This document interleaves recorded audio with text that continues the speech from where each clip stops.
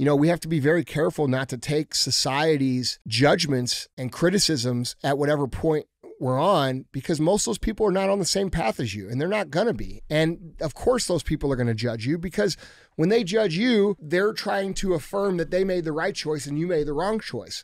When they see you going out and trying to become something, build something, uh, create things, live uh, a more profitable, bigger, quote unquote, fruitful life, more successful life, they will judge you automatically because they have chosen differently. Hmm. So people like to be right. You know, people will ride being right into the dirt. So you have to be smart not to fall into that. Like these people who are telling you that you you know, you take it too serious, you're too intense, you're too into what you do. Those people are always going to say that to you. And then whenever their life is in shambles when they're 40 something years old and they don't have to show for it, you know what they're going to say? They're going to say, "Well, at least I lived some life."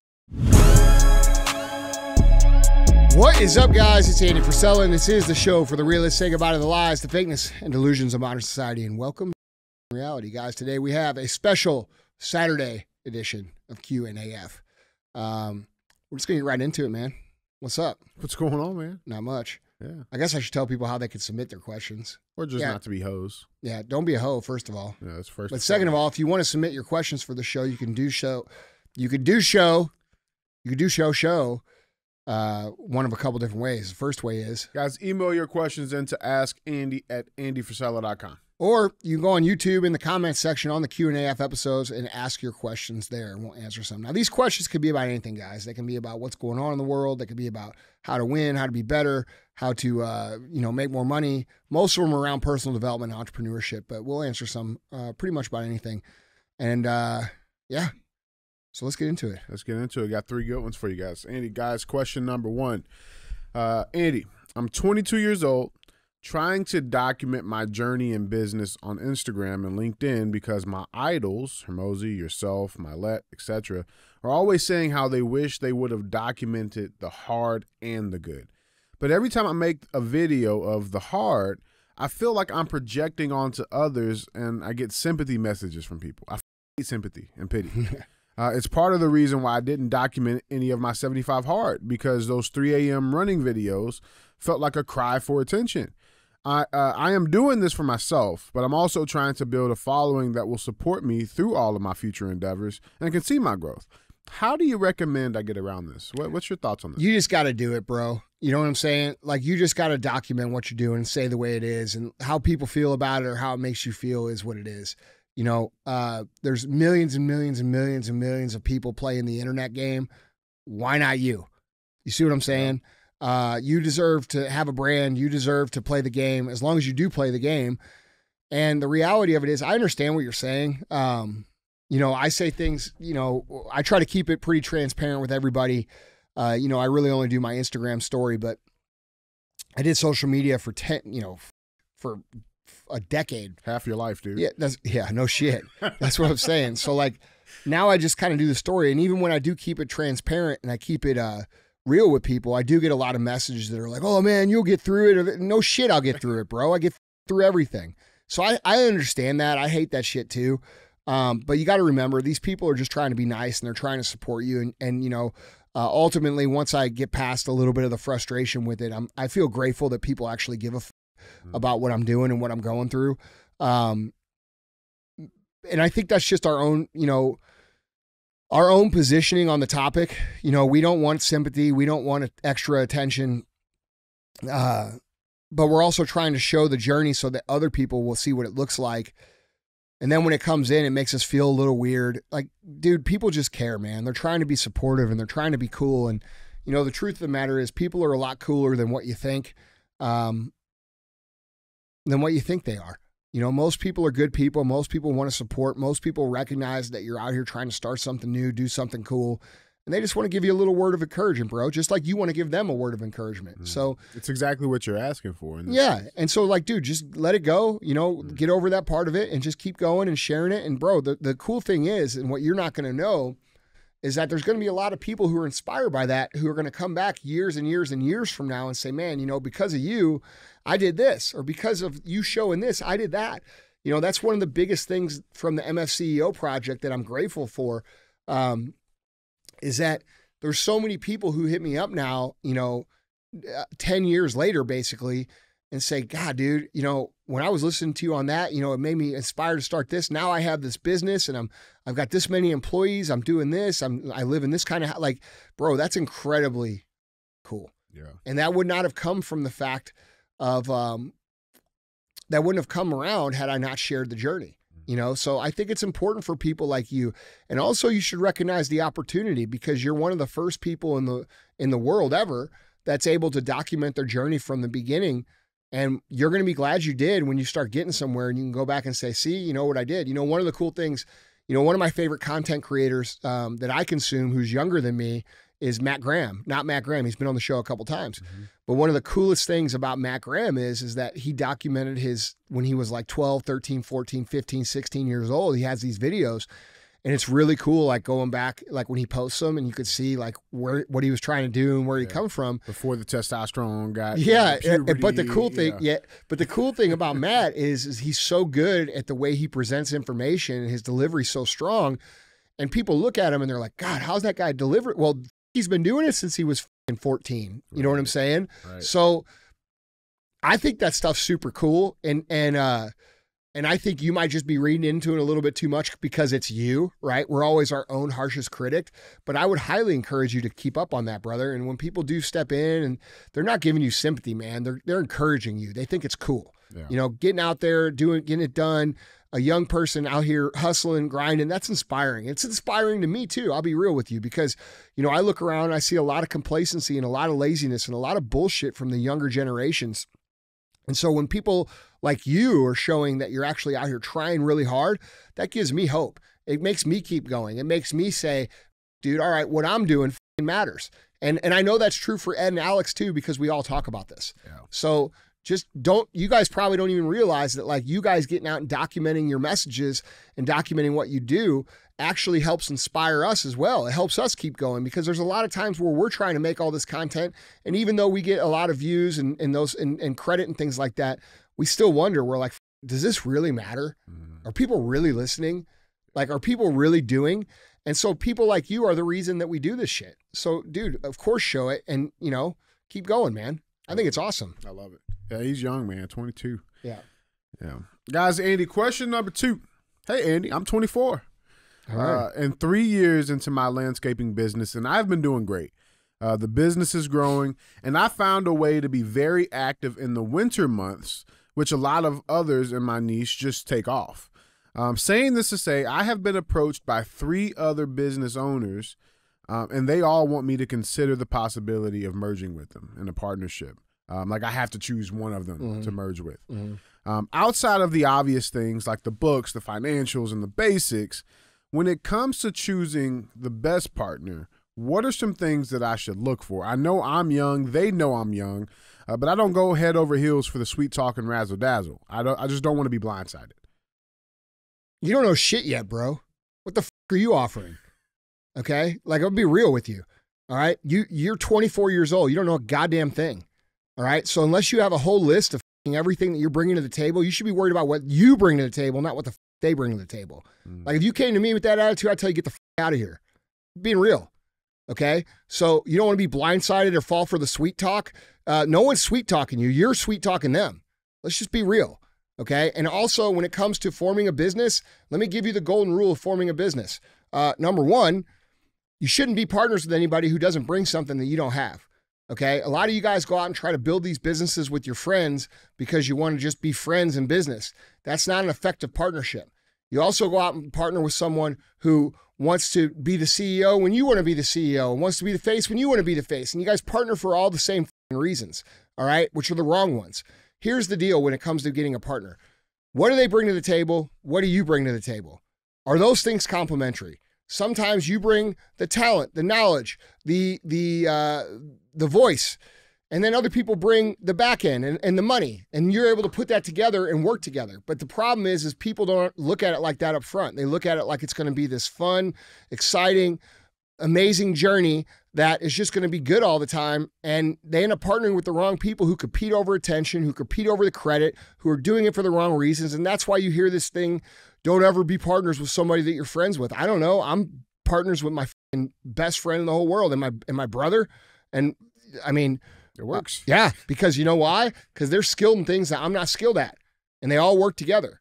So like you know, but dude, this this thing of like that you're saying about I don't want to be sweet talked, bro. You need to learn to speak a little bit differently. Because if I even, I would just tell you get the fuck out. Hmm. I don't want to deal with that ego. I don't want to deal. You're 24. You haven't done shit. What have you done? What's it say he's done? Uh, he said he found a niche. Uh, he found a way to be very active in the winter months. Where Oh, really? Everybody else takes. That off. sounds great. Yeah. Sounds super amazing. You're the first person ever to figure something out to do in the winter. Like you're not even telling me what the fuck you do, man. You know what I'm saying? What what is what is the? I don't understand. I don't even understand the real question here. Uh, yeah, just like I mean, he understands he should be like you know asking about the books because he's been approached by three other businesses, I guess landscaping businesses. Okay. Um, and he's just saying like outside of the books, the financials, and the the fundamental things to like talk about and discuss. Uh huh. What should he be looking for in a partner? Someone who can do the shit that you can't do very well. Someone who could bring the resources that you don't have. Yeah. Someone who can e- e- execute on things that you're not good at. And you should partner with them. But like walking around thinking that you got the keys to the castle, bro, you ain't the first motherfucker to figure out something to do in the winter. I promise you that. Go talk to Ricky, Yeah, right. my guy, right. who's the best landscaper that I know. Okay. So, Yeah, I didn't even know grass could get cut in November. hey, listen, when you guys submit questions, submit some detailed questions, man. I'll help you. I'll give you the right answer, but you just telling me some summary bullshit. I'm not going to help you or anybody else. Make the questions as detailed as possible. If we have to edit them down, we'll edit them down. But the reality is, is I can't help you if you don't tell me what the f- you do. Okay. Yeah. To me, I'm going to tell you this. Most and, and I get fr- I get frustrated because I get asked this shit all the time. All right, no offense to you, dude, but I get asked this all the time. I get approached by these young kids who are ambitious, who think that they're really something. Motherfucker, everybody thinks they're something. Everybody thinks that they're great. Everybody thinks they have a skill set nobody has. Everybody thinks that they have the ability to do things no one else can do, and it just isn't true. You're a you're one of a gazillion motherfuckers that can do what the fuck you're doing. So what do you bring to the table? What do you offer? And making that list compelling will allow you to find the best partner possible. And you should look at their list with the same scrutiny that you look at your list.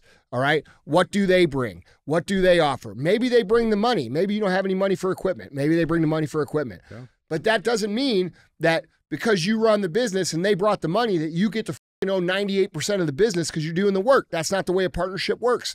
This dude brings the money, you bring the shit, and it's 50-50 or 49-51 or something that you agree upon. You know, there's just all kinds of ridiculous misunderstandings about how partnerships should be formed. Most of them are fed up because people are idealists in the beginning. In the beginning of a relationship, it's always the easiest. It's always easy in the beginning to say, man, we're going to conquer the world. We're going to do, bro, when I opened something with Superstores back in 1999, I thought we would be like on boats and hoes in like six months, bro. like I thought I'd be driving a Lamborghini Yeah. in like fucking six months. And that was without internet culture. Yeah. and you know what? You know what happened between the time that I actually got a Lamborghini, which was 12 years in? I, a lot of shit. It was hard. And I got my ass beat, and so did Chris. And good thing was, is that Chris had skills that I didn't have, and I had skills that he didn't have. And that's what created an effective partnership. And then, you know, uh, when we started 1st Phorm, we brought in Sal. Sal has skills that neither one of us have. You see what I'm saying? And we didn't just say, hey, man, uh, I like you and let's be partners. This is going to be fun because I promise you, bro, it ain't going to be fun. It's going to be much harder than you could possibly imagine. It's going to take much longer than you could possibly comprehend. And these people that you partner with have to bring in skills that you don't have. Otherwise, you're going to get beat by people who do have that. Like if you have, like, let's say we have a, a quarterback. All right. And then we got another quarterback, and then we got another quarterback, which is usually the case when it comes to starting a small business. Everybody wants to be the CEO. Everybody wants to be the man. Bro, being the CEO ain't fun. It fucking sucks. Okay. Because you get beat for everybody else's stupid motherfucking decisions. And you guys all want that role, but you only want it because you want the likes, shares, the recognition for it. When in reality, bro, it's the most brutal fucking role you can have. I would much rather, in hindsight, have taken the role of back end dude hmm. than fucking face guy. Much, much, much rather have done Chris, that. Chris Chris has a good time. He, you know what?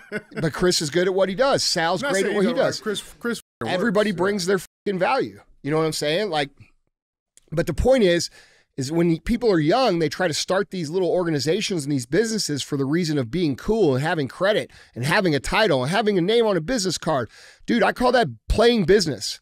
And you know what happens to people who play business? They get their ass beat by people who are actually doing business, who don't worry about things like title and don't worry about things like credit and worry more so about kicking ass and putting out the best product. That's the point. Yeah. So when you decide who you're going to be partners with and who you're going to stick to, you have to look at it. What does this person bring that I can't do? And if they can't bring anything that you can't already do, then you shouldn't partner with them, no matter how much you like them. Yeah. Partnership should be a true blending of strategical, tactical advantages, not hey man, we're just going to do this and split it. Like that's not how that'll never work. Yeah. Because what'll end up happening is as the company grows, if you're lucky enough for it to have it grow, you'll be competing with this other person over the credit. I don't give a fuck about the credit. I think everybody in this room and in this building knows that. Now, do I get a lot of the credit? I do. But the truth of the matter is I don't care. It's actually them. Those guys do all the work. I do I do uh, the organization and the the steering of the ship. I'm I'm in the bucket at the top of the Titanic saying steer left so we don't hit that iceberg. Right. Okay, that's my job at this point in time. And and and dude, I don't care about the awards and the accolades or any of that shit. And I think that's what actually has made me uh and, and made our organizations, all of them, uh successful is because the the there's no real thirst or hunger for the credit. Like my brother doesn't give a fuck. Chris doesn't give a fuck. I don't give a fuck.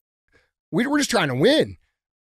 Yeah. And we use our skill sets skill sets together to do that. Yeah, I, th- I, I, I'm one. I'm like reading over this question, and I'm wondering, like, do you think he, like, maybe he was saying that in the sense of like because he is so young that he doesn't want to get taken advantage of by older sharks in the business. Well, how the fuck are you going to get taken advantage of when you don't have shit? yeah, Hmm. That's my point. yeah, You you think you got shit. You don't have shit yet, bro. So how are you going to be taken advantage of if you didn't bring nothing to the table? right. That's my point. Right. Dude, there's listen, there's this Fifty Yeah. person client. Listen, dude, got? there is a problem with ego with the younger generation of operators. These guys think they're much and by the way, so did I. So I'll give you that. When I was 24, I thought I was the shit. I walked around like I had a 20 foot dick and I knew all this shit and I could kick everybody's ass in business. And you know what? I was a idiot. So I'll give you that. I I was the same way. That's how I know you're like that. All right. So stop overestimating your own skills. Be honest. Build your skill set and match it with someone who has a complementary skill set. I love it, man. Yeah. I love it, guys. Andy, question number three. Uh, Andy, I'm 26 years old. I'm a man. Uh, I don't know why you put that. We went from 22 to 24, Yeah, I know, 26. it's we nice were right up the ladder here. I, it wasn't even intentional. Um, but yeah, he puts in parentheses male. So thank, thank I guess he just wanted to him, clarify that. he, him. yeah. yeah. All right, here's a rule. if you put your pronouns in the question, I'm not Oh, I don't answering get asked. No, Yeah. I, I wouldn't even put it up there. Um, Andy, I'm 26 years old, and in what I would call my own stage of sleeping in the back of the supplement store. I have a very small construction company that I finally ventured on my own this year. My social circle is nearly non existent. Um, I'm humbly a pretty good looking guy. I'm in great shape, good money. I haven't been on a real date in two years. I have a hard time going out. I feel like I'm wasting my time. You are. Uh, I create enemies in my head out of the people uh, just to drive me to surpass them. And when I do, I'm looking at the next thing. I feel completely behind in life, no matter what. Um, although I don't necessarily feel happy, this is the thing that brings me the most satisfaction this mentality. I just feel like now is not the time to quote unquote live life. Did you feel like this, or am I developing some unhealthy habits? I know to this day you still feel behind, but does the chip on your shoulder go away? Do you feel like your guard is down and it's not always a competition? What's your thoughts on this, Andy? You f- you feel like you're creating unhealthy habits according to whom?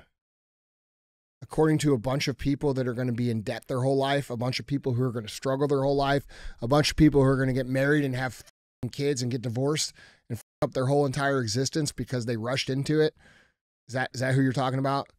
Hmm. because I would ignore those people. All right. And if I'm being completely honest, it sounds to me like you have all the markings of being someone who is going to be highly driven and highly successful. And what I have to tell you is that it is going to be lonely and it is going to be frustrating and you are going to feel like an outcast and you are going to feel like no one gets it, no one understands. And that's because you're rare. And the rare person is the one who builds greatness. All right. If everybody else thought like you, we, we it wouldn't be rare. Okay. Um, so let's think about this for a second. First of all, I want to talk about the dating thing. Uh, your value as a man in reality, whether people want to admit this or not, whether people get upset about this or not, I don't care, is not going to come until you're like probably in your mid 30s. All right. That's reality. Because when women are young, they will date older men who are making more money, who are doing, you know, things with their life, and uh, they're going to shit on you. And that's the reality of being a young, ambitious man. You're probably going to get told by a bunch of girls, like I did, uh, you know, hey, you know, when are you going to get serious? You know, this is this is a pipe dream. You know, this is never going to work out. When are you going to start taking your life serious and get to, get it your shit together and all this shit? And you're gonna you're gonna have women tell you that, um, who are you know trying to chase older men who are in their 30s who have a little bit more life underneath their belt, right? And uh, and what what you don't want to have happen, and I'm not saying you shouldn't date, but what you don't want to have happen is you to get locked up with some woman who is less than your potential because you did it when you didn't have shit and you were you were broke and you were struggling and you just took what you could get because you didn't want to be alone. All right? mm-hmm. So that's something to think about. Uh, I'm not going to sit here and say you should do this or should do that, but I will tell you this: when you're when you have your a little bit more momentum going and you have a little bit more going for your life and you're doing a little bit better in your life, you're going to get a better selection of potential partners in a relationship. And it's important that you know that that, that will eventually come. Um, and you don't, I don't think anybody wants to settle down with someone who's less than what their potential is. Mm. Um, but a lot of people get mad when I say this or when anybody says this because it's it, you know people make other decisions but i'm just telling you your value as a as a man uh, you will have better selection of possible partners a little bit further down the road from where you are at 26 um, as far as feeling like an outcast you're going to feel like an outcast bro. Anybody who's driven like you are anybody who's wanting to win as bad as you are anybody who's putting in the work the way that you are they're going to be looked at as some sort of weirdo. Uh, that's how i was my whole life. I was looked at as I had my priorities out of whack. Um, I was not living, you know, I got told that I, I needed to have more balance. I needed to have more fun. I needed to take it easy. I needed to not care as much. I needed to not be as intense. I needed to not blah, blah, blah, blah, blah. And I got told that by a bunch of people who, quite frankly, uh, at this point in their life, at the same age as me, are struggling very hard. Okay. And I have my struggles too. I'm not saying I don't. Uh, and that's another thing. I think we got to recognize that you know, we trade struggles. You know, what's what problems do you want to have? Do you want to have the problems of not being able to afford to do shit? Do you want to have the problems of being stuck with a woman who's, you know, not the quality of the woman that you could potentially get later on? Do you want to like do you want to regret not doing what you could have done with your life? Um or do you want to have uh, the problems of you know maybe you can't afford shit maybe you can't and maybe you maybe you look back and you say man you know what i missed out on a couple things you know what i mean yeah. but here's the cool thing at least when you miss out on a couple things back then you got something to show for it the other way around you don't got nothing to show for it so that's how i've always looked at it and yes i'll be real like there's things that i look at when i examine my life and i say man you know i wish i would have done a little bit more traveling or i wish i would have done a little bit more uh, because in hindsight, I would have been the same place that I'm at. I'm just keeping it real with you guys. Um, but also at the same time, I get satisfaction out of doing what I do. I like what I do, and and I do feel like I'm wasting time when I'm not doing it. And uh, I can I can totally relate to someone with that mentality. And I think that you know we have to be very careful not to take society's judgments and criticisms at whatever point we're on because most of those people are not on the same path as you and they're not going to be. And of course, those people are going to judge you because when they judge you, they're trying to affirm that they made the right choice and you made the wrong choice. When they see you going out and trying to become something, build something, uh, create things, live uh, a more profitable, you know, bigger, quote unquote, fruitful life, more successful life, they will judge you automatically because they have chosen differently. Mm. So people like to be right. You know, look at the look at the politics in the world. People people are literally arguing over what's going on, watching the president of the United States dismantle this country because they wanted to be right about Donald Trump. That you know, people will ride being right into the dirt. Yeah. So you have to be smart not to fall into that. Like these people who are telling you that you you know you take it too serious, you're too intense, you're too you're too into what you do, uh, you're too focused, you're this, you're that. Those people are always going to say that to you. And then whenever their life is in shambles, when they're 40 something years old and they don't have shit to show for it, you know what they're going to say? They're going to say, well, at least I lived some life. Yeah. You know, and I like, At least I had that van yeah, when I was 20. right, bro, you're not going to care. Yeah. You're going to be like, cool, man. Like, I can do whatever I want. And so, you know, there's a trade. You're trading the comforts and conveniences of a normal life right now for an exceptional life later. And then people will like to say stuff stuff like this too. Well, what happens if you get sick and die? Well, then you can get sick and die, man. I mean, do you, what do you think Kobe Bryant says? You think Kobe Bryant, if you called him up on the phone right now and say, "Hey, Kobe, do you regret your life?" He's to say, "No." He's like, "I went hard as bro. I did everything I could. I worked my ass off, and I did the best that I could with the time that I got, and nobody could take that away from me. He's a legend because of it." But people will say, "Oh, you know, you he needed to live his life, or he needed to do this or that." You see what I'm saying? Yeah. So like, bro, it's the peanut gallery, and we don't listen to the peanut gallery. We don't take what they have to say serious. Those people are on a different path than you. Um, you have to do what's best for you, and I would do it with intensity because I'll be real with you. All the things that this person asked, those are all things I felt the whole entire time, every single time. So, uh, I, I think you have a lot of the markings of someone who is obsessively, who will be obsessively great at what they do. And um, people are going to judge you for that, bro. I mean, I get judged constantly for that. I mean, just look at some of the comments on some of the videos that are posted about me on the internet that people post in short form. This guy's crazy. This guy got mental health problem. No, motherfucker, I don't have mental health problems. I have the problems that you wish you had and that's why you're talking that shit. Mm-hmm. You see what I'm saying? so it's you know, oh, it looks sounds like some unhealed trauma. Yeah, I got some unhealed trauma with a big ass fat wallet right here, baby. You know what I'm saying? Yeah. Like, what the? F- I'm I'm just saying. I get like everybody yeah. wants to knock for every fucking thing. Yeah. You know, like at least if you're dedicated, you walk out with a prize. You don't walk out with a life that's in shambles. This idea of a perfect life, of perfect happiness and perfect family and perfect balance, it's bullshit. We got to pick and choose what things we want and we got to go after those things. And we shouldn't judge each other for those things because not everybody's built for the path that you're trying to go on. When I was younger, I used to judge the people that didn't go on the path as like quote unquote losers, right? Yeah. But now I don't do that anymore because I realize that, like, dude, that's just their path yeah. and that's okay. We just call them liberals. yeah. I mean, look, man, I, I, I respect and value anybody's decision. Here's where I don't value it. What I can't stand, that's a huge pet peeve of mine that we see in society right now, is this idea that some, people's lives are in this like shitty spot, right? They don't have any money, they got very little possessions, they they can't really pay for their shit and then they pretend like that's what they wanted the whole time. Hmm. That's what I don't like. What I don't like is people adopting their life into and, and then lying about how they got there. Like, bro, just say, hey man, it didn't go the way I wanted, hmm. but now I'm doing the best I can. You see what I'm like saying? Trying to fool us that their shit. Yeah, bro, I hate that shit. Yeah. That's where all these.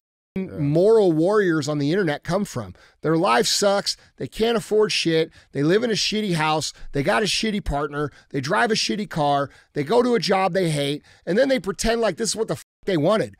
F- you, man. You think I'm stupid? And then they get on the internet and say all kinds of ignorant shit about anybody who's doing anything. I mean, dude, look at anybody successful on the internet and then read the comments about them. And you have all these losers saying, yeah, but, you know, I bet it's blah, blah, blah, blah, blah. You don't know any of that. You're just talking shit because they got something you ain't got. You chose not to do. Yeah, and you chose it, dude. Yeah. And that's okay. I don't care. That's what you chose. But like, don't sit here and try to villainize everybody who's out here doing something because they don't have the life that you have because you fucked up your own life. And by the way, you could change it today. If you would just get out of that victim mentality. You know what I'm saying? Yeah, absolutely. Like, bro, do you not notice this? Do you know what I'm talking about? This exactly you're moral talking about, warrior culture that exists on the internet that judges every single person that does anything outside of the norm as some sort of up person. That's how they justify their excuse of not doing Get the fuck out of here, dude. Yeah. No one's it. That's what I'm buying it. It's not. You're not fooling me, bro. Yeah, you're not fooling anybody, and you just look like a little pussy bitch in the comments. Yeah. Like real talk. I'm eating Vienna sausages I- because they're but so I- good. Yeah, I love it. Yeah, I chose it. a tree, bro. Like- Yeah. I mean, I'm eating Vienna sausages because I chose to be humble. Shut the fuck up, Nah, bro. I don't give a f- how humble you are. You ain't eating that, Dude. That's called. It's a bunch of fake humility. It's a it's a misunderstanding of humility. The truth of the matter is you can't even be humble unless you're great. Okay? Because to be humble, you have to be great. That means you have to say, "Oh, this is I'm doing this, but this doesn't make me any better than anybody else." Right. Right? So you have to be doing big shit to even be humble. So you can't just be a loser and be humble. That's automatic. Yeah. That that's like you're that's automatic default. That's the know- opposite of humble. Yeah, right. Like I'm, I'm, I'm. And by the way, people don't even know the difference between meek and humble. You know, meek and modest and humble. There's three different things. You know what I mean? Oh, uh, humble much? Uh, no, not really. I'm the f***ing MF CEO, bitch. I'm not very humble. But you can do it too. Yeah, Sign up for my course, nine ninety nine. Yeah. bro. Anybody who runs around with a Loser. license plate on his car that says MF CEO probably ain't that humble. You're correct. it's on a couple of them too. Yeah. yeah. Yeah. Well, they gave me two plates. I want everybody to know. My point is, is that bro, it's not about that. Yeah. You know what I'm saying? It's a humility really isn't isn't about any of that. It's about understanding this. You're not as great as the results that you're producing. You're no different than anybody else. That person over there, they could do the exact same things that you're doing if they did if they did the exact same actions. That's what humility is. It's not thinking less of yourself, it's thinking more of others and just understanding that the reason you are where you are is because you took certain actions, not because you're gifted or you're great or you're better than right? So most people don't even understand the true thinking of what humble really means. But then they try to weaponize it on the internet. Oh, you're successful, so you're not humble. Yeah, you're right, man. Fuck off. Whatever you say, Yeah. Right. you know. But uh, you're eating Vienna wieners, and I'm eating steak. Right. You know, Vienna wieners. how them wieners, bro? I'm just being real, man. It, man. I love it. Dude, we should just start. Dude, we should start a segment. You know how we have cruise the comments Yeah. in CTI? You go cruise the. No, go find. We'll go find the. You're gonna do this, Zishan. We're gonna go find the asshole comments on the success. The The, the, success posts. yeah the, yeah. and we're gonna put them on the internet right here, and we're gonna tear them up. No, I love it. Yeah. So we're gonna find all the little humble warriors, and then we're gonna put them on the screen, and we're gonna make fun of them. I'm I'm down with that. Yeah, I'm down. Sounds like a good. call them out for their bullshit. I'm so tired of it, dude. It's so discouraging. Like to the like these are three young people we answered on this on this All uh, trying to win. Yeah, all trying to win, all trying to create greatness, and everybody they know in their lives trying to take it away from them. Yeah. You know what I'm saying? Yeah. Like, bro, that's up. Like, and you wonder why people don't win. You know, it's because they don't root for winning. Yeah. It's a crabs in the bucket, bro. Yeah, bro. What's what we got an episode on that, don't we? Crabs in the bucket. I'm just tired of seeing it, dude. Like, we should be encouraging young people to win. What is it? Episode 59 of Real AF. Go listen to that shit. For real. Stop right now because the show is over and go listen to episode 59. All right. Peace out.